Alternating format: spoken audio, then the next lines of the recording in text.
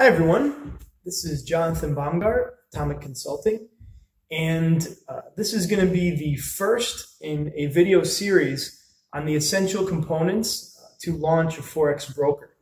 And I'm just going to jump right in. Uh, what I want to talk about is the company registration and banking aspect of the business.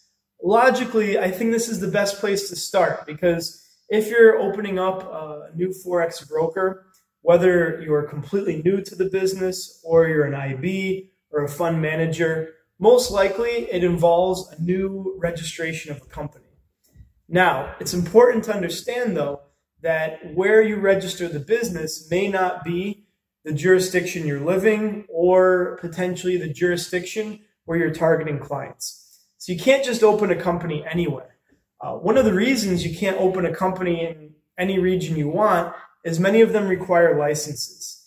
And if you're just starting off, although we're happy to help you with a license, you may not need it to start. Um, that's very much a case by case basis. The bottom line, though, is you're going to have to register a business somewhere.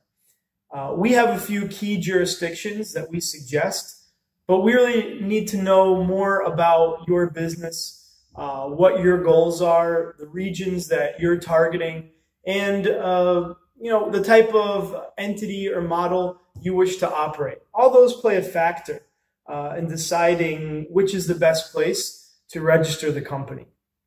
Uh, so we always suggest working with a consulting firm because it's quite difficult to navigate all the jurisdictions around the world and to understand if the region you want requires a license or if you can just set up a simple company. Uh, the other component which is very important, is banking. Um, obviously, if you're going to have uh, a forex broker, your clients have to wire money to you, um, or you know use a different payment method. If you don't have a bank account, then how can the business function? You know, uh, how can your clients send money to you? So this is another crucial aspect. I always like to mention up front that uh, banking has become more difficult than it once was uh, for new brokers.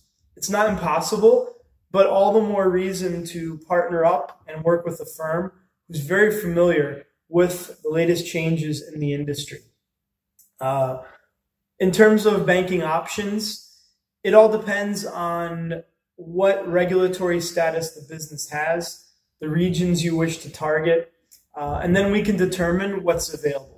In general, bank wires are possible, although credit card, debit card, Skrill, Neteller, and other types of payment services have become more difficult uh, if you're a brand new broker starting off without a license.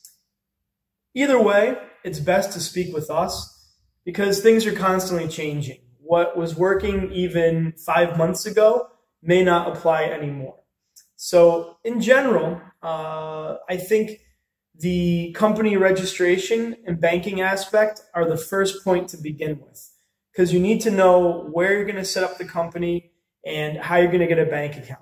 Everything else that we'll discuss, like software, websites, support, all of that is going to be based on this company registration and setup.